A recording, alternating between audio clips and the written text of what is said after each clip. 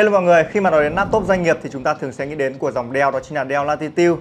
Và giờ đây thì Dell Latitude nó không còn ba cái cụm từ là laptop doanh nghiệp nữa mà bây giờ nó đã có cái sự bền bỉ này, sự uh, mạnh mẽ này, cùng với đó là sự uh, sang trọng. Thì chiếc laptop này nó có được như vậy hay không thì các bạn hãy nhớ theo dõi video này. Mình sẽ cùng đánh giá tổng quan về chiếc Dell Latitude 7320 mà mình đang có ở đây. Và mình là Cường Bi, một reviewer của laptop TCC.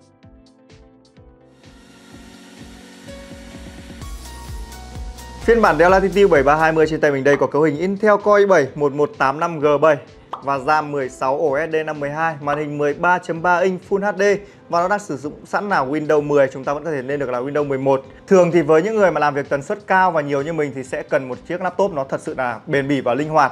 Đó là một điều rất là quan trọng. Và mình ưu tiên trải nghiệm trên những em laptop business như thế này. Mặc dù ra mắt được 2 năm rồi nhưng nó vẫn có nhiều lợi thế hơn những chiếc máy mới hiện nay, đặc biệt là về giá. Với phiên bản 7320 trên tay mình đây thì thời điểm ra mắt nó sẽ rơi vào tầm khoảng 40 triệu, mà nay nó chỉ còn khoảng tầm 13 đến 15 triệu thôi. Wow, một cái giá rất là bất ngờ đúng không anh em? Về thiết kế thì em nó cũng chẳng có mấy sự khác biệt với những phiên bản tiền nhiệm. Thiết kế của máy bằng carbon cũng chính vì làm bằng carbon nên máy cực kỳ bền bỉ.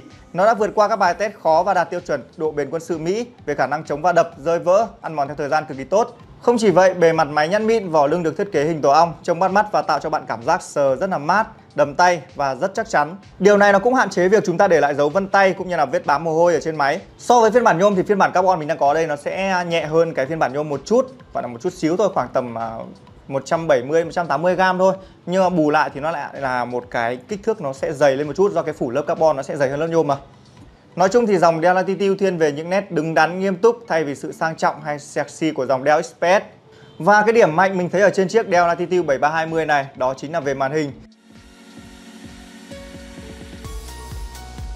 Với kích thước màn hình chỉ khoảng là tầm 13.3 inch thôi nhưng chúng ta có một cái thông số màn rất là tuyệt vời. Khi mà mình sử dụng thử phần mềm à, test bằng SpiderX thì nó sẽ cho ra những cái thông số rất là ok.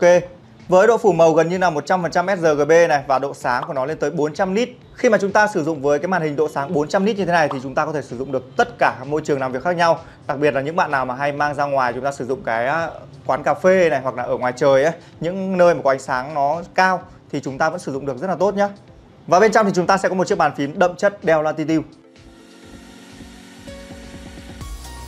Bề mặt phím hơi lõm xuống khiến cho cảm giác gõ của người sử dụng rõ ràng và đem lại khả năng gõ chính xác cao hơn. Hành trình phím của máy cũng tốt hơn nhiều so với người anh em ở phân khúc cao cấp hơn, đó chính là Dell Express 13. Độ này thì tốt và lực ấn thì vừa đủ.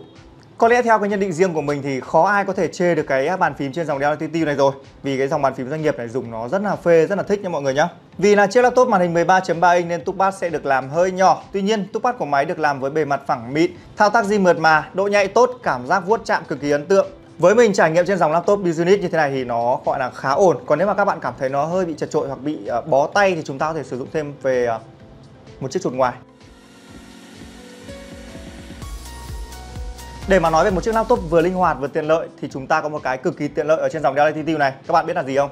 Đó chính là về cổng kết nối là một chiếc máy màn hình 13.3 inch nhưng mà máy này không hề thiếu một cổng kết nối nào anh em nhé. Ở cạnh trái thì chúng ta sẽ có một Thunderbolt 4 này, cổng C, jack cắm tai nghe và một tùy chọn thẻ à, Smart Card. Bên phải thì chúng ta sẽ có khe bảo mật khóa Kensington, một đầu nối HDMI 2.0. Tiếp theo là một cổng USB-A 3.2 Gen 1 và một đầu nối là USB-C Thunderbolt 4. Và cuối cùng là một khe cắm thẻ micro SD và khe cắm thẻ SIM. Và ở trên cái khe cắm thẻ SIM này thì chúng ta đã được tích hợp sẵn là card quan rồi. Nếu mà anh em muốn sử dụng thì chúng ta không cần phải mua thêm card quan để chúng ta sử dụng như những chiếc laptop khác nữa. Về thiết kế thì chúng ta không có gì thay đổi nhiều ở trên à, chiếc Dell Latitude 7320 này cả so với cái bản tiền nhiệm. Vậy thì về hiệu năng thì sao? À, trước khi mình làm về cái video review này thì mình cũng đã test hiệu năng à, của chiếc à, Dell Latitude 7320 này rồi. Mình có chơi thử game này rồi à, làm thử đồ họa này. À, link video đó thì mình sẽ ghi ở phần mô tả nhé. Các bạn có thể nhấp vào phần mô tả để chúng ta xem thêm về cái chi tiết video đó. Với một chiếc máy văn phòng và đặc biệt mức giá cũng khá rẻ thì mình cũng không có quá nhiều kỳ vọng khi mà sử dụng Photoshop với rất nhiều layout nhưng các thao tác mình sử dụng rất là mượt mà hoặc khi test game trên chiếc máy này thì mình đã test thử game Liên minh huyền thoại này, Valorant hay là FIFA Online 4 thì nhiệt độ của nó dao động khoảng tầm là 63 độ C. FPS có lúc còn từ 100 cho tới 130 FPS thì thực sự là rất bất ngờ đúng không anh em? Với cái tựa game LOL thì chúng ta còn chơi được ở chế độ là max setting. Wow, một chiếc laptop à, uh, Buzilit doanh nghiệp mà cái khả năng chơi game của nó còn hơn cả một chiếc laptop gaming nữa cơ. Mình nghĩ là như vậy. Còn về khả năng nâng cấp thì chiếc máy này nó đòi hỏi một cái tính quyết định rất cao khi mà các bạn muốn mua đó chính là về khả năng nâng cấp RAM của nó thì gần như là không có vì RAM đã được hàn chết trên bên. Còn ổ cứng thì chúng ta vẫn có thể nâng cấp được uh, riêng biệt. Về RAM thì mình nghĩ là cái tốc độ RAM từ 8GB này hoặc là 16GB thì nó đã đủ để chúng ta sử dụng cho các cái công việc văn phòng. Còn uh, các bạn trừ khi các bạn chơi game hoặc là các bạn làm đa tác vụ cơ thì mọi người mới cần đến cái số lượng RAM lớn hơn. Còn ổ cứng thì chúng ta có thể nâng cấp được rồi từ 256, 512 hoặc là 1T chúng ta vẫn lắp thoải mái. Cái đó thì là điều hiển nhiên rồi. Điều đáng kinh ngạc chính là quả pin 63Wh mà mình đang có ở đây. Các bạn có thể trải nghiệm cả ngày mà không cần lo ngại đến sạc pin hay là chúng ta phải mang theo sạc để sử dụng. Đây à, chắc chắn là chân ái của các chị em khi mà chúng ta muốn à, ra ngoài mà không phải mang theo quá nhiều thứ hoặc là nó rất là cồng kềnh khi chúng ta nhét vào túi hoặc là ba lô.